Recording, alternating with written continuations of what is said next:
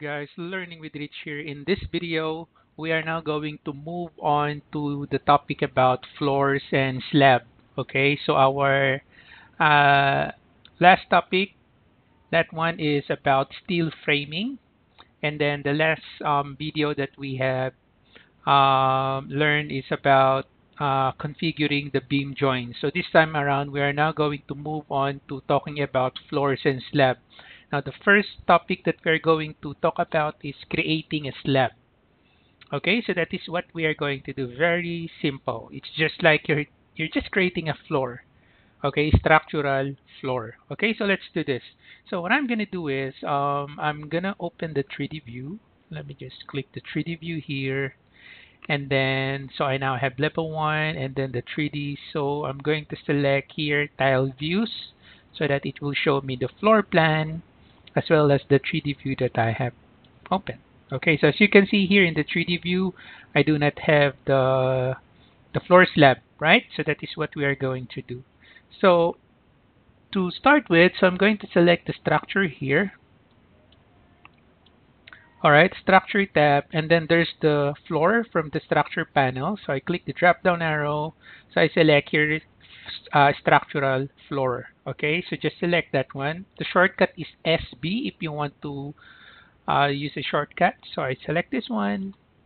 There you go. And then after that, from the draw panel, so I'm going to use uh, boundary line. So we're going to create the boundary of our slab and then we will be using pick walls okay so before that let us check the properties of this so from the properties so let's say I'll be using this one uh, 6 inches concrete okay so I'm going to select that and then as you can see the properties of our floor are here okay so using pick walls. So let us now start picking the boundary of our uh, floor slab. So I'm going to start here. So I'm going to click that. There you go. So I'm going to pick this. Two. Okay, so basically you just need to pick the boundary of your uh, floor slab. Okay. Just click, click. Alright, and then make sure the corners here are clear or clean. There's no um, extended lines or overlapping or and it should be close. Okay, so you just need to check all the corners. Okay, so that's good. So that's good. That's good.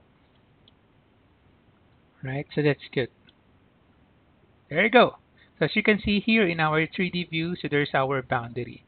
So this is what will happen if you have an excess line. So let's say, for example, you didn't notice you have an extra line here. And then I select modify. So if you select check here to finish it, so you will notice it cannot be finished because lines must be in closed loops. So the highlighted lines are open on one end. Okay, so you have an excess line here, so you need to delete that. Okay, so just continue and then just delete this one. All right. So another thing, no overlapping. So let's say you have an overlapping line here. You didn't notice. Okay. For example, you didn't notice the warning. You didn't read the warning. You just closed that. Okay. So you thought it's okay. So once you select again, finish edit mode. So what will happen is you'll not be able to finish that and Revit will highlight the problematic line here. So it says here cannot have overlapping lines.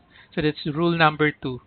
Okay, so there should be no excess lines and there shouldn't be any overlapping lines and you just need to delete that and then it should be closed. So let's say I'm going to open this just like that.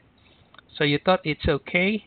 So once you select finish, again, Revit will not let you to do that because it should be closed. So that's why make sure all the corners are clear. So you need to use trim extend to corner. Click the two sides that you want to clear, that you want to extend. There you go. Alright? So once you're done checking all the sides, no excess lines, no overlapping lines, and it's already closed, so you just need to select check to finish edit mode.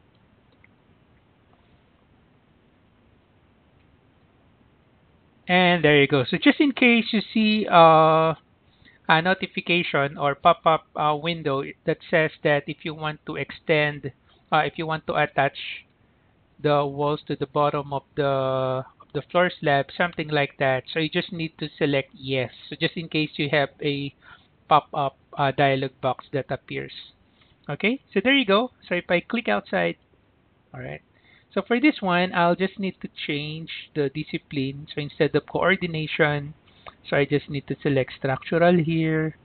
And then for the detail level, I'll just select coarse. There you go. Okay. If you want to see the shade part of your uh, slab, so you just need to change the visual style to, let's say, shaded. And there you go. And in 3D view, there you have it. So this is now our floor slab here. There you go. Okay. So that's it. Very simple. So on our next video, we are going to add a concrete floor with steel decking. Okay. So thank you for watching guys. Have a nice day.